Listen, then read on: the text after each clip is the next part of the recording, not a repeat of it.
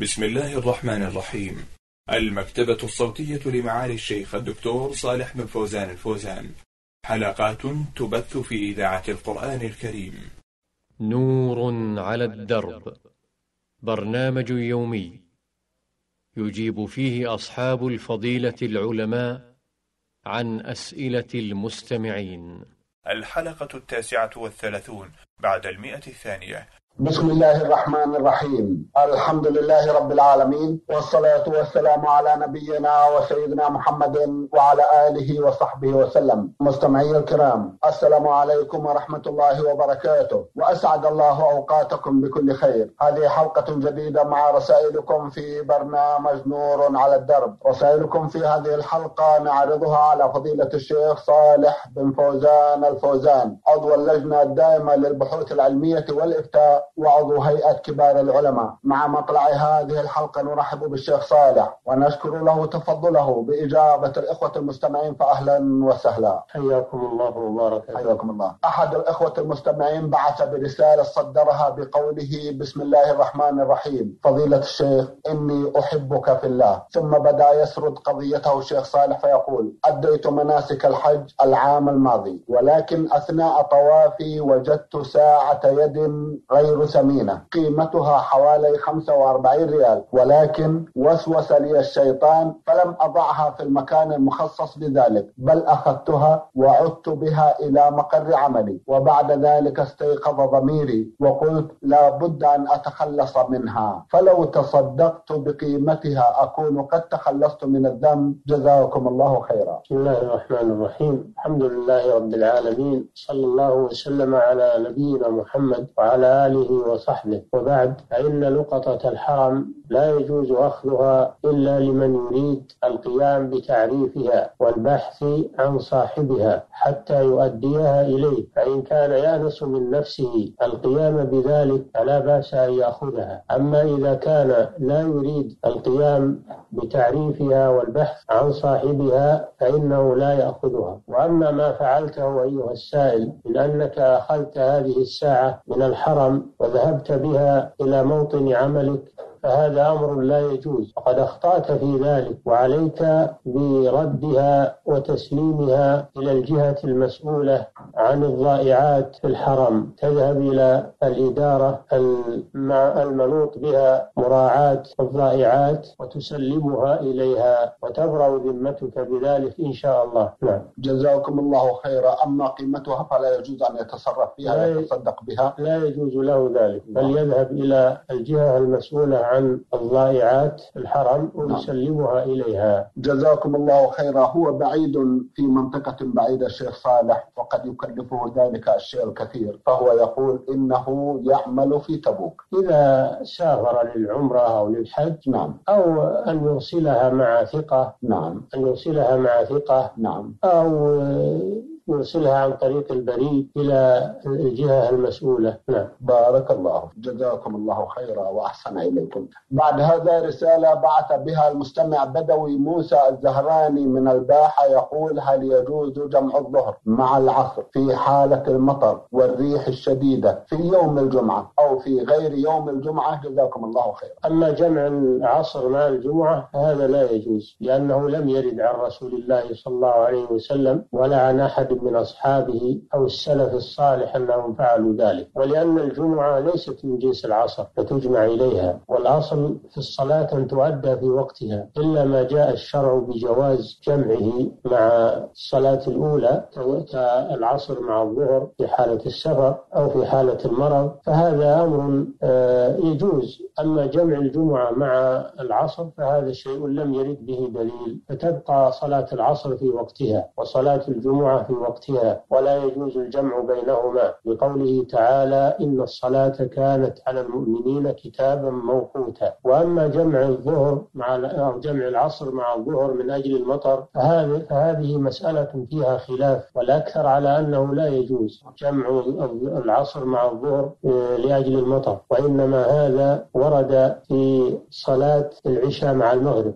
هذا هو الذي دل عليه الدليل وعليه عمل أكثر كثير من الصحابة كثير من أهل العلم من أجل رفع الحرج. أما العصر مع الظهر من أجل المطر فهذا لم يرد به دليل صحيح عن النبي صلى الله عليه وسلم. وإنما قال به بعض العلماء من باب القياس والاجتهاد والأصل في الصلوات كما قلنا أن تؤدى في مواقيتها إلا إذا دل دليل صحيح صريح في جواز جمعها مع التي قبلها ولم يدل دليل صريح صحيح على جمع العصر مع الظهر من أجل المطر. نعم.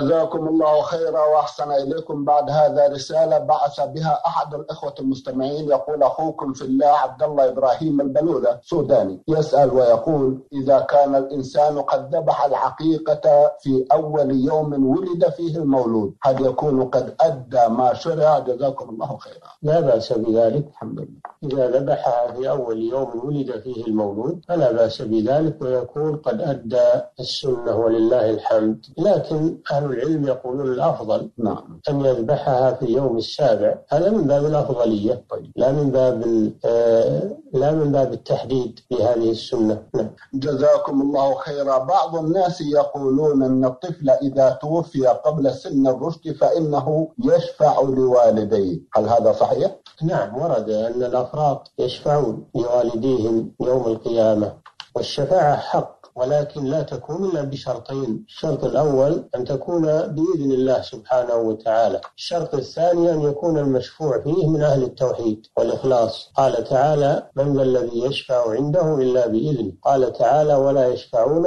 إلا لمن ارتضى فقوله إلا بإذنه هذا دليل على الشرط الأول وهو أن الشفاعة إنما تكون بعد إذنه سبحانه وتعالى. الشرط الثاني أن يكون المشفوع فيه من أهل التوحيد إلا لمن ارتضى. والله لا يرتضي إلا عن أهل التوحيد. أما أهل الشرك قد قال الله سبحانه وتعالى فما تنفعهم شفاعة الشافعين. وقال تعالى ما للظالمين من شفيع من من من شفيع ولا من حميم ولا شفيع يطاع. ما للظالمين من حميم ولا شفيع يطاع. فشفاعة الأفراط حق بهذه الشروط والله أعلم. جزاكم الله خيرا وأحسن إليكم. بعد هذا رسالة وصلت إلى البرنامج من ليبيا وباعثها المستمع عبد الرزاق حسين الشيباني. الأخ عبد الرزاق يسأل جمعا من الأسئلة من بينها سؤال يقول ما الحكم في رجل صلى دون أن يقيم الصلاة؟ نعم إقامة الصلاة سنة وليست واجبة والصلاة صحيحة إن شاء الله نعم جزاكم الله خيرا وأحسن إليكم أيضا يسأل عمن يلبس ملابس عليها ذكر الله كذلكم الملبس المكتوب عليها الله أكبر هل يجوز ذلكم أو لا؟ هذا لا يجوز لأن فيه امتهانا لذكر الله عز وجل. كتابة اسم الله لفظ الجلالة على الملابس لا يجوز. لما فيه من الاستهانة بسم الله سبحانه وتعالى لأن هذه الملابس تكون على الأطفال الذين لا يتحرزون من النجاسة وتكون على الإنسان وهو يدخل بيت الخلاء وقضاء الحاجة وقد يخلع هذا الثوب ويداس أو يمتهن وأسماء الله جل وعلا تعظم وذكره يعظم من الامتهان. نعم. جزاكم الله خيرا وأحسن إليكم. رجل أقيمت عنده صلاة العصر وهو لم يصلي الظهر بعد فصلى مع الامام حينئذ فكيف تكون حاله جزاكم الله خيرا؟ إن كان صلى مع الإمام بنية الظهر فلا بأس بذلك على الصحيح. فيجوز أن تصلى الظهر خلف من يصلي العصر. أما إن كان دخل مع الإمام بنية العصر وهو لم يصلي الظهر فإن صلاته غير صحيحة لأن الترتيب واجب. فيجب عليه أن يصلي الظهر أولا ثم يصلي بعدها العصر. نعم.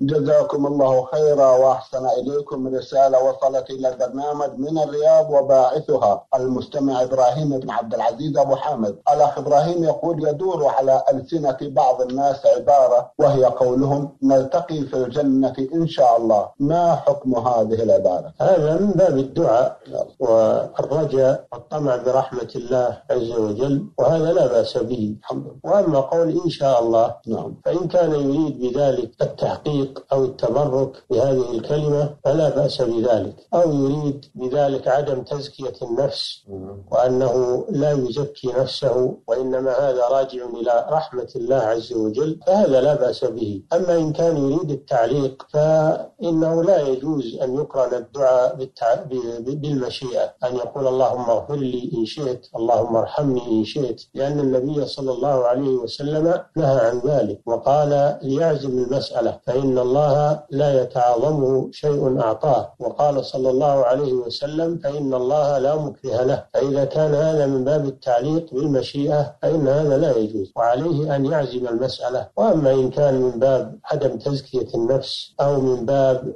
التحقيق أو التبرك بهذه الكلمة فلا بأس بذلك إن شاء الله. نعم. جزاكم الله خيرا وأحسن إليكم. يسأل الأخ إبراهيم عن زكاة مئة من الغنم كم مقدارها؟ فيها شاة واحدة حتى تبلغ 121 ففيها شاتان لأن في كل أربعين من الغنم شاة إلى أن تبلغ 121 ففيها شاتان. نعم. جزاكم الله خيرا وأحسن إليكم. من الرياض المستمع ضاد ميم ميم. يسأل ويقول أنا شاب لم أتزوج بعد وأريد أن يوفقنا الله لأداء الحج لأنه في بلدي يكلف الشيء الكثير وأنا الآن مقيم في المملكة. فهل أبدأ بالزواج أم بالحج؟ جزاكم الله خيرا. إذا كنت تخاف على نفسك من غلبة الشهوة وأنت متطلع إلى الزواج فقدم الزواج لأنك حينئذ تكون غير مستطيع للحج لأن الزواج في حقك في هذه الحالة يكون من الحوائج الأصلية. والحج إنما يجب فيما فضل عن حوائج الإنسان الأصلي. أما إذا كنت لست بميال إلى الزواج ولا تخاف على نفسك من الفتنة فابدأ بالحج. نعم. جزاكم الله خيرا وأحسن إليكم يسأل ويقول أعلم أنه من ترك صلاة الجمعة ثلاث مرات في جماعة اسود قلبه ولكن أعمل في مزرعة بعيدة عن المدينة وأصلي الجمعة ظهرا فما حكم ذلك؟ إذا كنت بعيدا عن المدينة وأنت تعمل في مزرعة ولا تسمع النداء للجمعة فلا جمعة عليك. قوله تعالى يا أيها الذين آمنوا إذا نودي للصلاة من يوم الجمعة فاسعوا إلى ذكر الله فدل على أن الذي تجب عليه صلاة الجمعة هو الذي يسمع النداء. وأنت بعيد لا تسمع النداء. فليس عليك جمعة واجبة. ولكن إذا تيسر الحضور فهو أفضل لك. نعم. جزاكم الله خيرا وأحسن إليكم. حلفت يمينا على شيء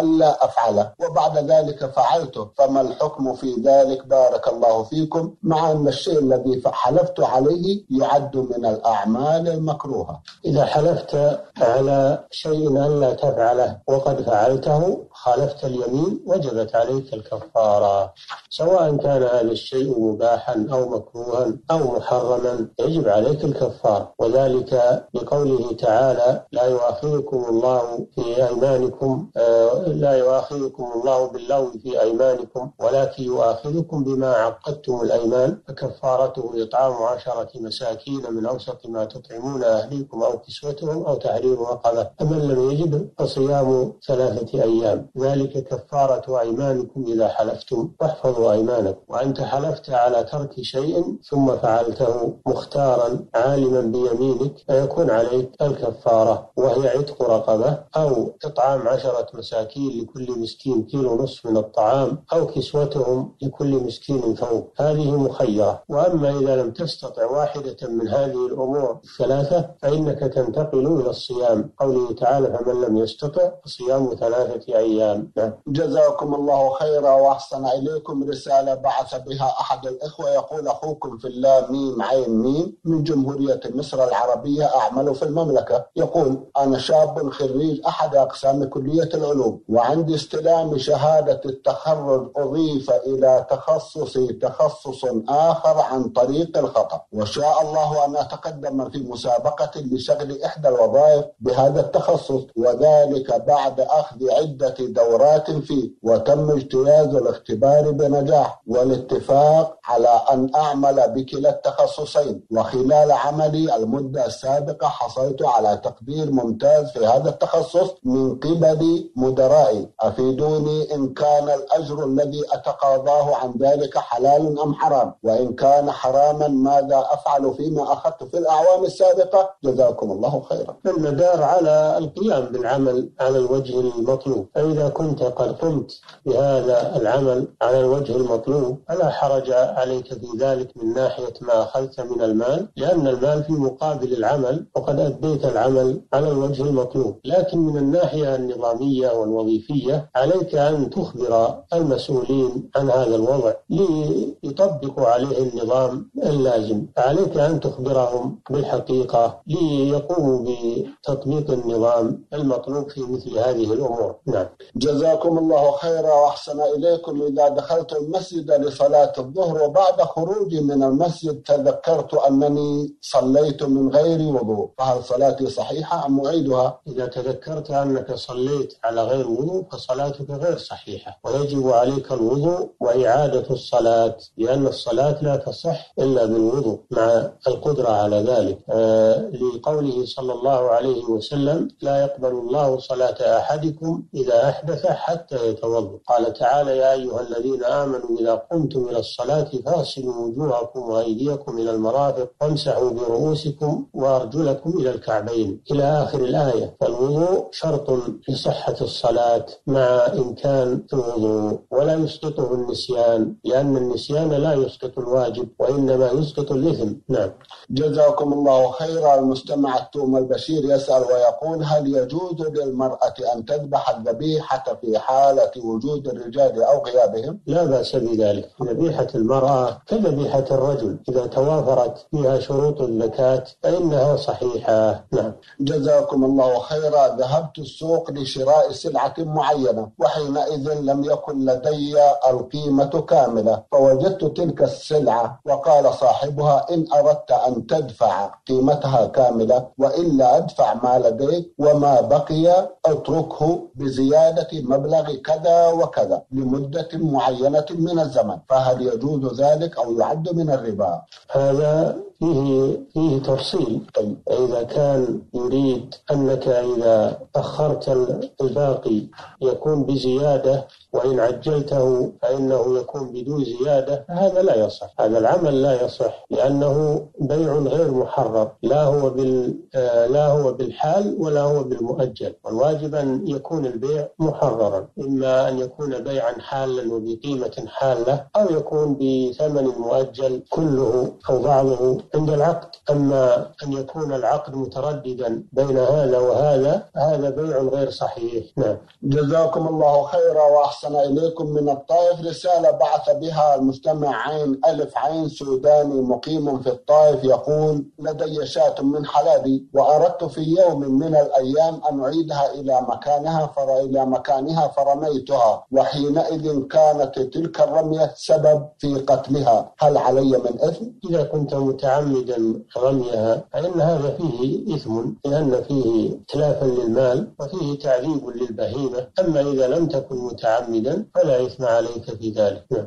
جزاكم الله خيرا. ما حكم من دخل مكة لأول مرة بدون إحرام وهو لم يعرف الحكم؟ إذا كان لم ينوي نسكا لم ينوي حجا ولا عمرة فله أن يدخل مكة بدون إحرام وإنما يلزم الإحرام من أراد الحج أو العمرة فإنه يحرم من الميقات الذي يمر به أو من مكانه الذي دون الميقات أو الذي نوى منه يحرم منه ولا يدخل الحرم إلا وهو محرم. أما إذا لم يكن نوى نسكا فلا بأس أن يدخل إلى مكة من غير إحرام. نعم. جزاكم الله خيرا وأحسن إليكم. إحدى الأخوات المستمعات بعثت تسأل وتقول السائلة حا حا أخبركم بأنني قد نذرت لله أن أذبح كبشا في كل سنة في شهر رجب. ما دمت حيا والآن قد مضى علي عشر سنوات وأنا أفي بذلكم النذر. وقد سمعت أن تخصيص شهر رجب بالذبح بدعة. فهل أفي بنذري أم أكف عن الذبح؟ أفيدوني جزاكم الله خيرا. وأيضا قد نذرت بأن أشتري لابنتي وكان عمرها عشر سنوات تاجا من ذهب وكانت ترفض ذلك والآن أصبح عمرها تسعة عشرة سنة. فهل أفي بنذري الآن أم لا؟ ثم إنني قد نذرت بأن أضع في رأسي خضر أو خضر وكادي وأذهب إلى عروس صديقتي. وعندما حان وقت زواجها لم يكن زوجي موجودا وذهبت مع سائق ومعي أخي. ولكن لم أفي بنذري لأني سمعت أن في ذلك معصية لله. فهل في ذلك كفارة؟ وهل علي إثم؟ جزاكم الله خيرا. أما بالنسبة للنذر النذر الأول وهو النذر في رجب فهذا بدعة نعم. لأن تخصيص رجب بالذبح هذا من أمور الجاهلية وهو بدعة. ولا يجوز تخصيص رجب بعبادة من العبادات من ذبح أو صيام أو قيام أو غير ذلك لأنه كسائر الشهور لا يخصص بشيء. فهذا النذر النذر لا يجوز. والأحوط أن تكفري كفارة يمين عن ذلك النذر. وأما نذر وضع الطيب على رأسك عند الخروج بمناسبة زواج فهذا نذر لا يجوز أيضا لأن المرأة منهية عن التطيب عند الخروج فهو نذر معصية ولا ولا تنفذيه وأما نذر وضع التاج على ابنتك أو وضع شيء على رأسك فهذا من نذر المباح. هذا من نذر المباح. إن شئت تفعلينه وإن شئت تكفرين كفارة يمين. نعم. جزاكم الله خيرا. من رسالتها يلاحظ شيخ صالح أنها كثيرة النذور. هل من كلمة يحفظكم الله؟ نعم النذر لا ينبغي. قد نهى النبي صلى الله عليه وسلم عن النذر.